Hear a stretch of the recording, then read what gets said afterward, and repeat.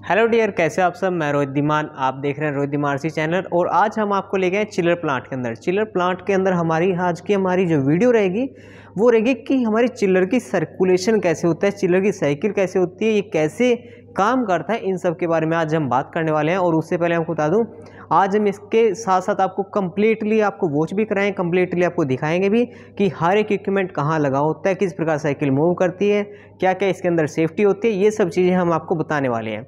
चलिए हम स्टार्ट करते हैं हमारी आज की वीडियो जो हमारा टॉपिक है चिलर साइकिल देखिए, सबसे पहले हमारे पीछे है chiller plant chiller plant of Europe का. अब इसके अंदर हमारा क्या होता है? इसको हम ऑपरेट करते हैं और इसको ऑपरेट करके हम क्या करते हैं? इसके अंदर सबसे पहले क्या लगा होता है? कंप्रेसर लगा होता है. अब कंप्रेसर हमारा क्या काम करता है? अब कंप्रेसर हमारा गैस का सर्कुलेशन करता है. अब जो हमारा कंप्रेसर है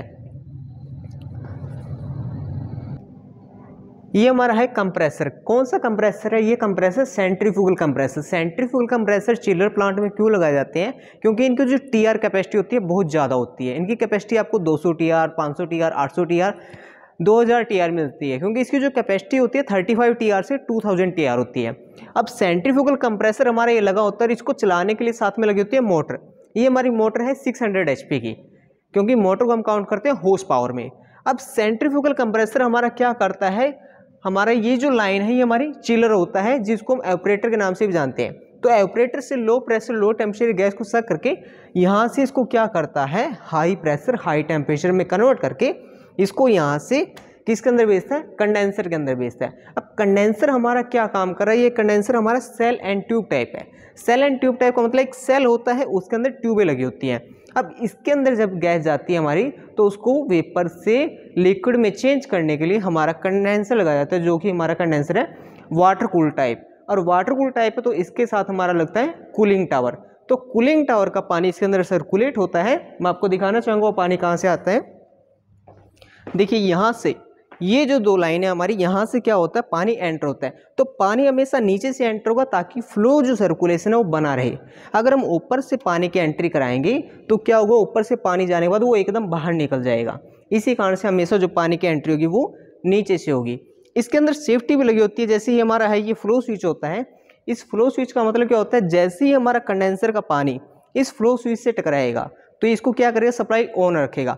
लेकिन जैसे ही प्रेशर हमारा डाउन हो जाएगा तो फ्लो स्विच कंप्रेसर को कमांड देगा इसको बंद करने के लिए। एक सेफ्टी के रूम में फ्लो स्विच लगाया जाता है। तो यहाँ पे हमने बात की हमारा जो कंडेंसर है।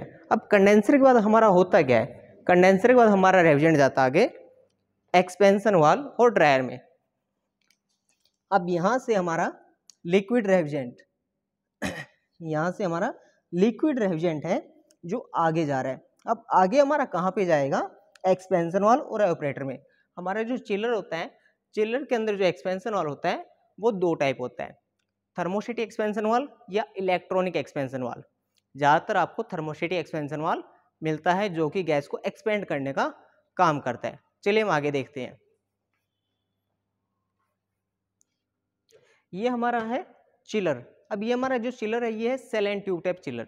इसके अंदर भी सेम क्या होता है? सेल होता है और ट्यूब होती हैं। लेकिन मैं आपको बता दूँ कंडेंसर और ऑपरेटर में क्या होता है, दोनों सेल एंड ट्यूब टाइप होते हैं, लेकिन दोनों अपोजिट होते हैं। कंडेंसर में हमारा जो सेल एंड ट्यूब टाइप है, सेल के अंदर रेफ्रिजरेंट ट्यूब के अंदर पानी रहता है, लेकिन ऑपरेटर में ये चीज़ चेंज हो जाती है।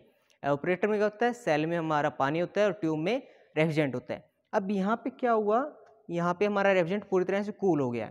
अब यहाँ पे ये किसको ठंडा कर रहा है? यहाँ पे ठंडा कर रहा है पानी को, क्योंकि हमारे एच के अंदर पानी को ठंडा करके आगे भेजा जाता है। अब जो पानी वाली लाइनें हैं, वो हमारी ये लाइनें हैं, जो क्या करती हैं? इन इन, ये जो चिल्ड वाटर है हमारा, इसको भेजा जाता है आगे एएचयू में।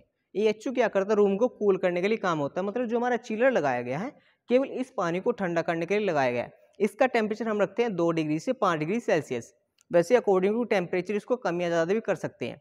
अब इसके अंदर हमारे यहाँ पे थर्मोमीटर भी लगे हैं फ्लो स्विच भी लगे हैं, जिससे कि हमारा टेम्परेचर कंट्रोल हो सके और इसी पानी को यहाँ से क्या किया जाता है? सप्लाई किया जाता है एच में और रिटर्न वहाँ से हॉट वाटर वापसी इसी के अंदर रहता है और इसी को दोबारा से कूल किया जाता है। तो ये सब था हमारा चिलर सर्कुलेशन में और ये सब इसके अंदर होता है। लेकिन मैं एक छोटी सी और दिखाना चाहूँगा इसके अंदर एक सेफ्टी क्या होती है? चलिए मैं आपको सेफ्टी भी दिखा देता हूँ। नहीं ये एक दिखा के इसमें वो दो हाँ। ये इसके अंदर सेफ्टी होती है। अब सेफ्टी किस कारण से लगी है? ये हमारे कंडेंसर पर लगी है। कंडेंसर का मतलब क्या है? अगर भाई दे हमारा जो डिस्चार्ज प्रेशर है डिस्चार्ज प्रेशर कंट्रोल नहीं पता तो ये 270 पीएसए पे क्या हो जाता है? फट जाती है, जिससे क्या होगा हमारा?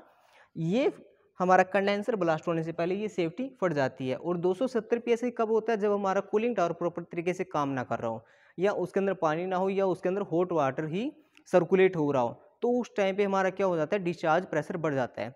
और डिस्चार्ज प्रेशर बढ़ जाने से इसका फटने का खतरा बना रहता है। तो ये चीज़ ना फटे इस कारण से हम क्या लगाते हैं? सेफ्टी लगाते हैं सुरक्षा के मेथड के लिए।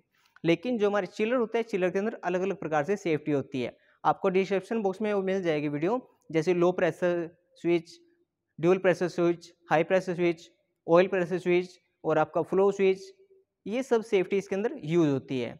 और ये हमारी आज की वीडियो थी चिल्लर सर्कुलेशन की।